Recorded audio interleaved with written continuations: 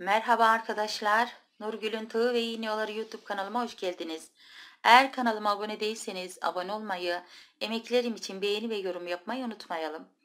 Sağ alt köşedeki kırmızı abone ol butonuna basarak abone olabilir, zil butonunu açarak da çektiğim videolardan haberdar olabilirsiniz. Evet arkadaşlar. Modelimiz bu şekilde iğneden tığa bir model arkadaşlar. Ara suyu olarak düz kaya ve küçük bir fiyonk yaptık arkadaşlar. Bu şekilde. Kenarına da kirpikli bir yaprak yaptık. Modelimiz çok hoş. Yapımı da bir o kadar kolay bir model arkadaşlar. Şimdi modelimizin anlatım kısmına geçelim. Evet arkadaşlar ilk başlarken de aynı şekilde başlıyoruz. Tığ battığımızın içine sık iğne ile giriyoruz ve 3 zincir. 3 tane zincirimi çektim. Hemen yandaki tığ battıma bir tane tığ battı olarak kapattım. Bu şekilde iki tane tığ battı yapıyoruz. 3 zincir. Hemen yanındaki tığ battıma bu şekilde kapattım. 2 tane tığ battım oldu.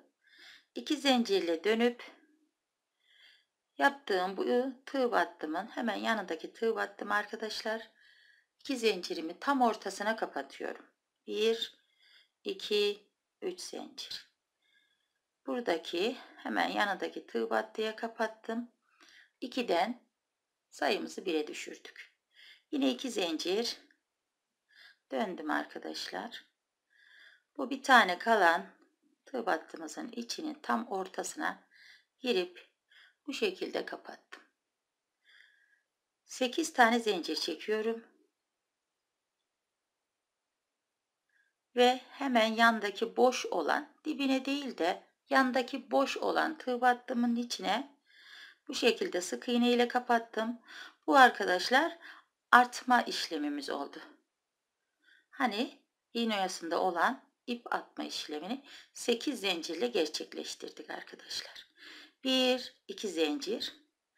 Bir tane şöyle ara mesafesi olarak tığ battı yapıyorum. 5 zincir. 4 ve 5. Bir defa tığımın başını doladım.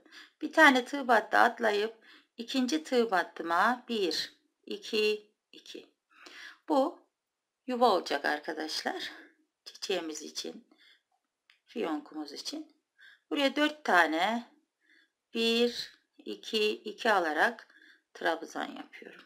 1, 2, 2. Üzerine 7 tane zincir çekiyorum. Döndürdüm yine ters tarafına. Buradaki ilk trabzan tepeme bu çektiğim 7 zinciri kapattım. Bu şekilde 4 trabzanımın üzerine yuva yaptım. Bir zincirle dönüş yapıyorum. Döndüm. Bu 7 zincirli yuvama sık iğne ile kapattım. 1 2 3 4 zincirimi çektim. Üzerine 2 defa doladım.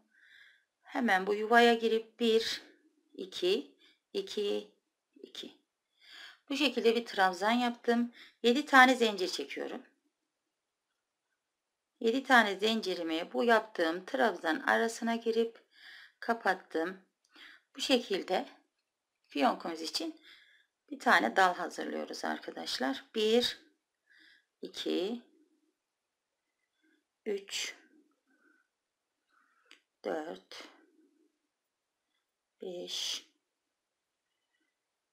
ve 6 altıncıyı da buradaki yuvada kapatıyorum. 1 2 zincir. Bir defa doladım. Hemen yuvaya girip 2 2 olarak aldım. Trabzanımız. 1 2 3 4 5 zincir. Hemen bu küçük trabzana bir tane kirpik yapıyorum çünkü yaprağımız kirpikli arkadaşlar. Hemen bir defa dolayıp 1, 2, 2. Bu sefer 3 sefer daldık. Yine 5 zincir. 5 zincirimi kapatıyorum. Kirpik olarak. 2 defa doladım. Yuvaya girdim. 2, 2, 2. 5 zincir. Kapattım kirpik olarak. Evet 3 tane kirpik. Burada da 3 tane kirpik. Şimdi dördüncü trabzanımız arkadaşlar sık iğneli trabzan hem kirpikli hem sık iğneli trabzan yapacağız. 1 2 3 4 5 zincir buraya trabzanıma kapattım. Geri kalan kısmı sık iğne yapıyorum. 2 şekilde tutayım daha net gözüksün. 3 4 5 6 Yedinciyi yine arkadaşlar bu şekilde ana yuvamızda yapıyoruz. Kapattım buraya. Evet bu dal kısmımız fiyonkumuz için bu da yaprağımız. Yine 5 zincirle aşağı iniyoruz. 1 2 3 4 5 zincir. Bir tane tığ battı atlayıp ikinci tığ battıma kapattım bu şekilde. Evet arkadaşlar. Şimdi ara suyunun yapımına geçelim. 3 zincir. 2 defa doladım. Şey sık iğne yapıp kapattım. 3 zincir. 2 tane arkadaşlar. Bu şekilde 3 zincirli tığ battı yapıyorum. 2 zincir çekip buradaki hemen ilk tığ battıma kapatıyorum. Şimdi arkadaşlar yine 3 zincir hemen tığ battıma girip kapattım. 1 2 zincir 2 zincir hem kesme işlemi arkadaşlar bu şekilde eksiltiyoruz. 3 4 5 6 7 ve 8 8 zincirimi çektim. Hemen yanındaki boş olan tığ battıya 8 zincirimi kapattım. İsterseniz arkadaşlar buralarına üçer kirpikli böyle beşer zincir çekip kirpikler de yapabilirsiniz. Sarıdan, beyazdan bu şekilde rengarenk. Evet. Yeşil kısmı bu kadar arkadaşlar. Şimdi kelebeğimizin yapım kısmına geçelim. Evet arkadaşlar. Bu 7 zincirli yuvamızın içine bu şekilde sık iğne ile sarı ipimizi buraya tutturuyoruz.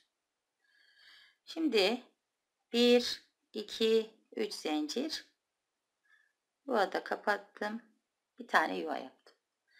1 2 3 zincir kapatıp yuvada yuva yapıyorum. Üçer zincirli iki tane arkadaşlar yuvamız oldu. 1 2 3 4 zincir. Dönüş olduğu için ip yediği için 4 zincir çekiyoruz dönüşlerde arkadaşlar. Kapattım buraya. Tekrar yuva yaptık. 2 3 zincir. İkinci yuvamın içine bu 3 zincirimi kapattım arkadaşlar. 1 2 3 zincir. Tekrar bu 3 zincirli yuvaya kapatıp aynı yere bir tane daha yuva yapıyoruz. Şimdi arkadaşlar 1 2 zincirle buradaki yuvadan hemen bir sık iğne ile bu 8 zincirli yerden tutturdum. 1 2 zincir 2 zincirle düz yüzüne dönüyorum. İlk yuvamın içine bu şekilde kapatıyorum. Bir tane yuva yaptık. 1 2 3 zincir hemen yanındaki yere bir tane yuva yaptım. 1 2 3 zincir Evet sayalım arkadaşlar. 3 tane yuvamız oldu. Bir tane daha aynı yere kapatıyorum. Bir yuva daha. Toplamda 4 tane yuvamız oldu. 4 yuva olunca 6 tane zincir çekiyorum. 6 zincir kapattım. Bu şekilde arkadaşlar.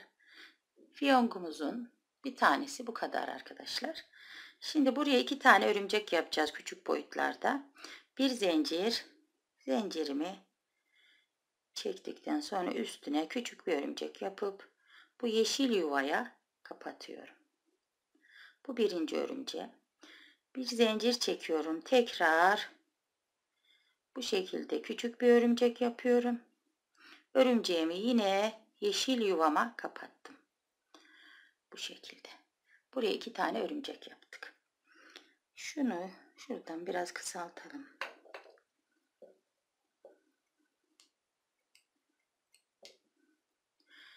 Evet arkadaşlar. Şimdi aynısından buraya bir tane daha fiyonk yapacağız. Yine 3 zincir çekiyorum. 1 2 ve 3. 3 zincirimi kapattım yeşil yuvaya. Bu birinci yuvam. 3 zincir kapattım yeşil yuvaya. Bu da ikinci yuvam. Şimdi 2 zen 3 4 zincirle dönüyoruz arkadaşlar. Hepsini saydık. 2 3 4 zincirle döndüm. Bu şekilde bir tane yuva yaptım. Yine 1 2 3 zincir. İkinci yuvama kapatıp bir tane daha yuva yaptık. Buraya arkadaşlar aynı yere tekrar batarak yuva sayımızı çoğaltıyoruz. 3'e çıkardık. Yine dönüşte arkadaşlar çektiği için 4 zincir çekiyorum. 4 zincirimi hemen döndüğüm bu ilk yuvanın içine kapatıyorum. 1 3 zincir hemen bir sonraki 3 zincirli yuvama kapatıyorum. 1 2 3 zincir hemen yanındaki bir sonraki yuvaya kapattım. En son kapattığımız yuvaya arkadaşlar tekrar bir tane daha artırma yapıyoruz bu şekilde fazladan. Adedimiz 4'e çıkıyor. Hemen yine 6 zincir 6 zincirimi yeşil yuvaya bu şekilde kapatıyorum. Bir tane de zincir çekip ipimi koparıyorum arkadaşlar. Bu şekilde fiyonkumuz oluştu. Çok güzel oldu arkadaşlar. Şimdi kelebek kısmının yapımına geçelim. Evet arkadaşlar. Şimdi bu yapmış olduğumuz örümceklerin bu şekilde ön taraflarından asılarak anten olarak bunları bu şekilde yukarı çıkardık. Şimdi beyaz ipimizi de tığımıza tutturduk. Buradan şöyle hafif arkadaşlar fazla sıkmadan bir tane sık iğne yapıyorum. 5 zincir 5 zincirimi kapatıyorum buraya. Bu birinci kirpiğim. Şimdi tekrar bu örümcekli sarı antenin içine ipimin arasına girdim arkadaşlar. Sık iğne yaptım. 5 zincir. Yine bu sık iğnenin tepesine batıyorum. Şöyle kirpikler sanki arkadaşlar daha bir belirgin gibi geliyor. Direkt sık iğneye de batmayabilirsiniz. 3 tane hepi topu kirpik. 1, 2, 3, 4, 5 zincir. 5 zincirimi buradaki sık iğneme kapattım. 3 oldu. Şimdi arkadaşlar araya bir tane zincir çekip diğer sarı antenin içine sık iğne ile girdim.